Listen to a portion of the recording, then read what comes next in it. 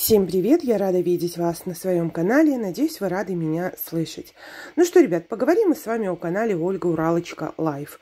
Вышел новый влог, покупка на 55 тысяч для новой ванной комнаты. Если честно, ребят, я, прочитав название, э, прям-таки задумалась э, куда они собираются ставить эту душевую кабину. Ну, потому что я поняла, что это уже душевая кабина, у них там и стиральная машинка, и, насколько я понимаю, там у них совмещен э, туалет и ванная. Ну, по крайней мере, там одна вроде как дверь. Поэтому куда эту душевую кабину, ну, если только действительно в новую квартиру. В общем, начало влога. Э, приехали с Дуней, получается, на перевязку. Показали нам Дуню в этой малюсенькой переноске. Ну и опять же попытались нам доказать то, что ей там удобно, что ей там достаточно места, хватает, что Дуня себя чувствует хорошо. И после перевязки она отправляется сама в переноску. Ну и, значит, дальше Уралочка говорит, вот, э, собираемся ехать в Леруа Мерлен. Говорит, такая осень, листья опадают. Я прям удивилась, что Уралочка сказала правильно – у нее же любимое выражение «спадывают», а тут совсем уже и не спадывают. Ну и дальше Уралочка благодарит за комментарии после Мукбанка. Получается, к видео, где они рассказывали про прокуратуру. Ребят, мне так действительно стало смешно. Они этим мукбангом опозорились по полной, а говорят о каких-то там поддержках в комментариях. Кто их там поддержал? Ну, вообще-то верные хомяки, конечно же, поддержали. Но, опять же, я как раз-таки ответочку хомякам уже выложила. И на Дзене, и в Ютубе. Кто у нас обманщик, кто любитель врать. Вот пусть посмотрят и решат для себя, кто кого обманывает. И было ли уже вынесено решение или не было. Вот пускай почитают и посмотрят, кто врушка, а кто не врушка. И вы знаете, вот не могут они без меня. В каждом влоге вспоминают вишенку. Прям как мозоль я у них. Вы знаете, вот мне абсолютно безразличны все блогеры, которых я обозреваю. Вот абсолютно ничего личного. Меня не интересует их жизнь. Меня не интересует их так называемое, как они считают, счастье. Но я не люблю, когда врут. Вы ведите действительно свой влог э, и свой канал, вернее, а не свой влог, и не врите, будьте честны со своим зрителем. А когда вот такие вот поступки, типа зигования и бесконечного вранья, разве такое можно одобрять? Конечно же, нет. Ну, значит, Уралочка, ой, мы хотели рассказать, как оно есть. Для кого-то Сафари говорит, это привычное дело. Как всегда, он любитель подогреть ситуацию. Завести с полоборота Уралочку, чтобы та побольше мерзости и гадости говорила, да, в сторону меня, в сторону вообще обзорщиков э, и наших подписчиков. Любитель он, да, э, чтобы именно Уралочку в этом завести. И все зрители, оказывается, у них добрые, все зрители у них понимающие, но только что-то мы с вами читали совсем не понимающих зрителей.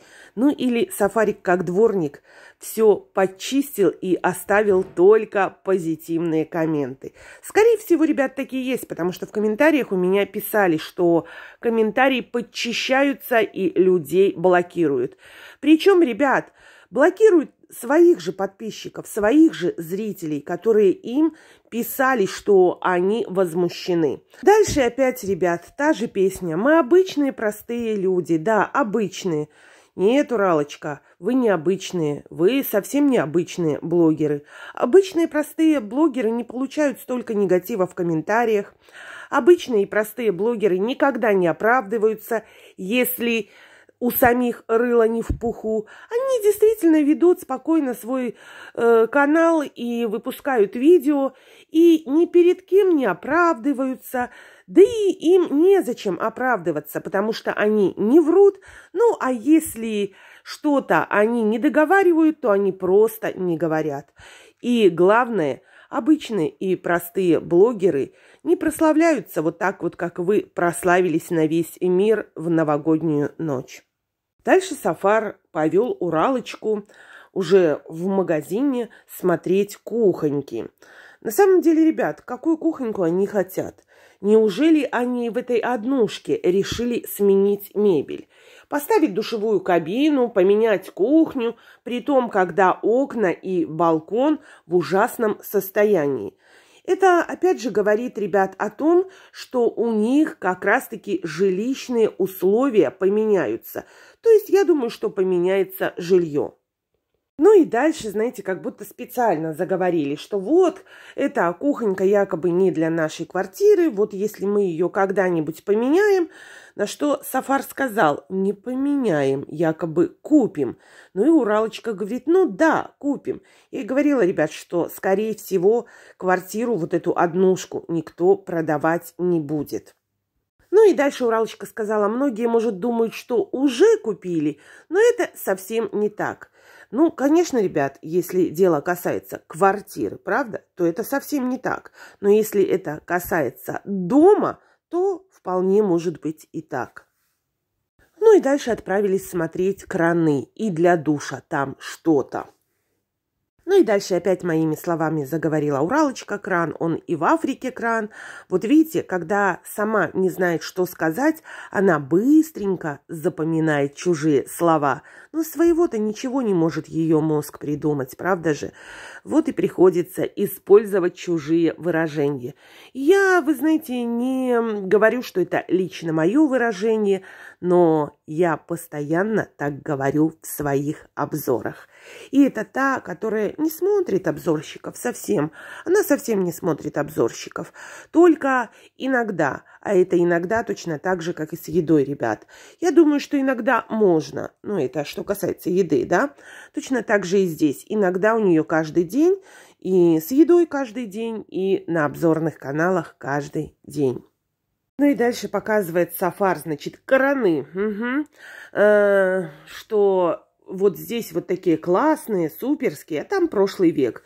Но Уралочку как-то не впечатляют суперские, да, современные. Ее как-то больше впечатляет прошлый век, потому что, видимо, ей додуматься, как включить, как настроить температуру, да, для нее это уже составит э, какие-то составит какие-то трудности, правда же?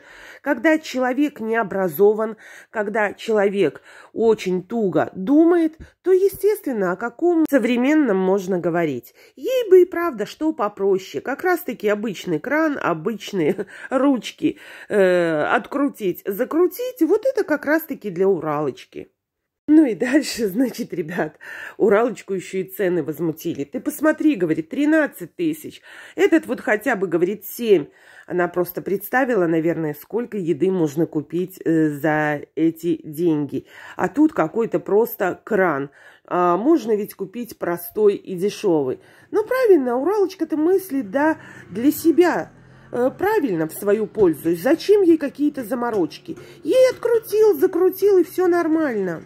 Ну и дальше Уралочка рассматривала там шкафчики, значит, раковины, говорила, что планируется у них там ремонт. Я вот, ребят, не понимаю, как можно делать ремонт в однушке в ванной, да, когда такие страшные балконы, оконные рамы. Ну, это же стыдно. Как женщина, да, соседка писала, что, кажется, говорит, что живут бедные-бедные старички. Вы знаете, э, есть старички, у которых даже таких окон нет. Это одинокие старички, которые действительно не могут позволить себе поставить нормальные рамы. А здесь великие блохеры и с такими окнами, ну, это что-то. Зато, да, душевая кабина будет крутая. Но, в принципе, наверное, Сафар это делает для того, чтобы ему не заморачиваться, чтобы Уралка сама могла, э, можно сказать, поддерживать свою личную гигиену без его помощи. Может быть, и это как раз-таки в его же пользу. Ну и дальше они ходили, бродили, продолжали рассматривать именно вот душ, да, э, и Сафарика интересовал именно тропический душ. Уралка, конечно же, приговаривала, что у них все прошлый век, а для того, чтобы сделать ремонт и чтобы было все по-современному, это нужны немалые деньги. Ну, конечно, а если столько денег тратить на еду, набивать морозильные камеры, закупать новые морозильные камеры, чтобы еще больше еды туда складывать, то, конечно же, о каком ремонте и о каком э, современном да, ремонте может идти речь? Конечно же, все тратится на желудок. А чтобы сделать ремонт, действительно нужны деньги. Хотя я не думаю, ребят, что денег у них нет. Они же прибедняются. Ну и дальше душевые кабины. В общем, я поняла, что они не хотят переплачивать и решили что-то попроще, как Уралочка сказала, чтобы просто стеклянную такую вот, да, как раздвигающиеся двери – и чтобы внизу, что ли, обычный как поддон был, но им, естественно, нужно пошире. Ходили, Уралочка примеряла, влезет она, не влезет, чтобы ей было свободненько. Ну, я уже говорила, ребят, это, скорее всего, для удобства самого сафара. Для того, чтобы, ну, скажем так, не мотаться к ней так часто, и чтобы она не нуждалась э, в его присутствии, собственно, ну, нормальное явление, да, кабина и Уралочка, и никуда не надо забираться наверх, свободненько, да, зашла и, скажем так, э, провела свои гигиенические процедуры. Хотя все равно, да, я вот так вот задумываюсь и думаю, что без помощи все-таки ей самой себя не обслужить.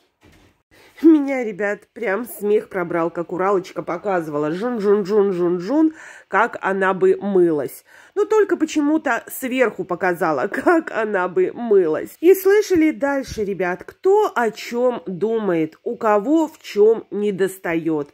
Говорит, вот, говорит, мы вдвоем можем залезть. Мы, говорит, и дома вдвоем залазили. И заржала.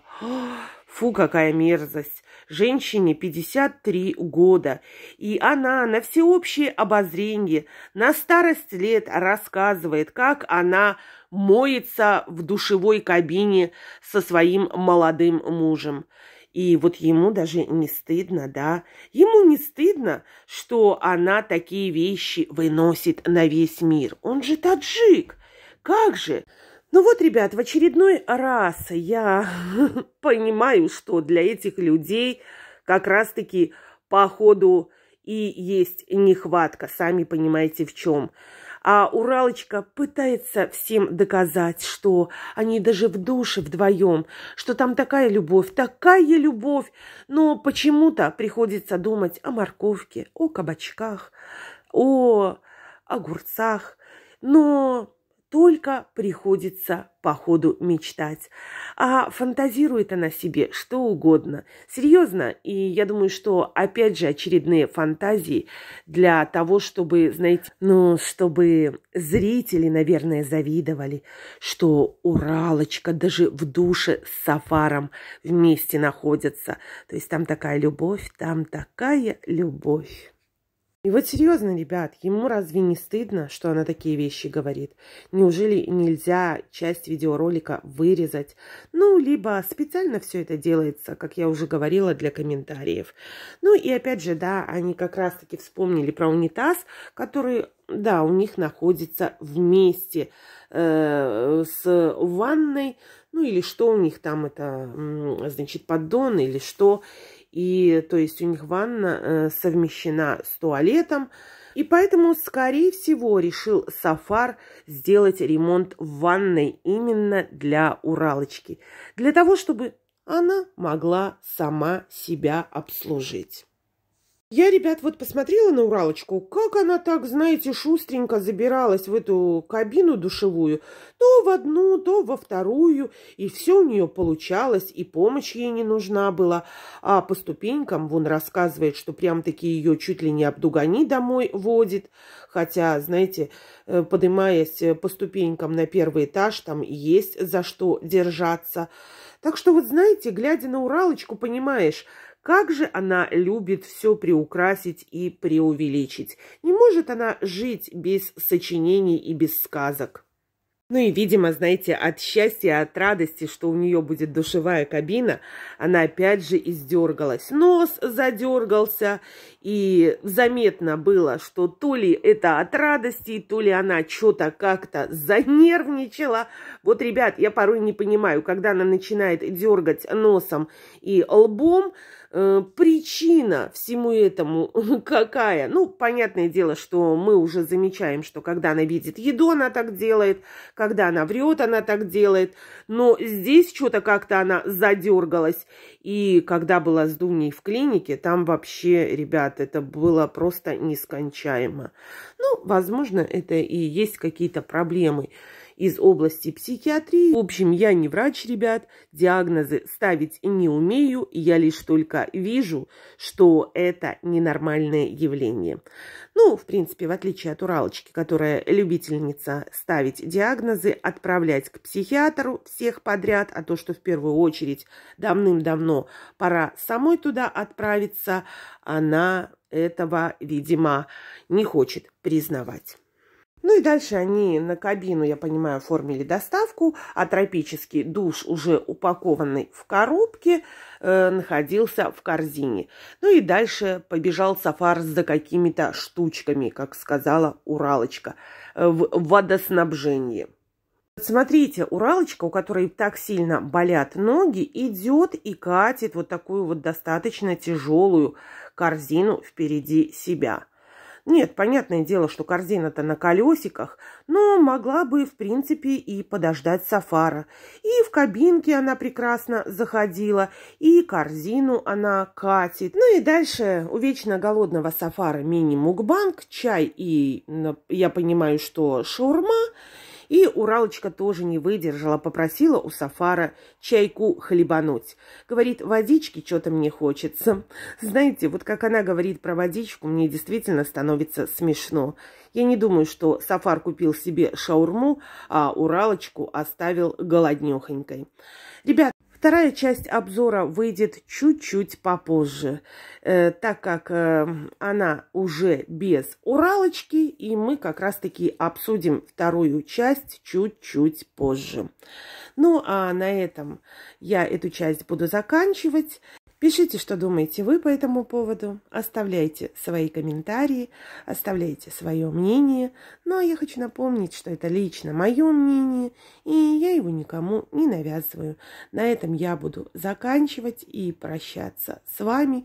Всех вас обнимаю. Всем пока-пока. До новых видео, до новых обзоров, мои хорошие.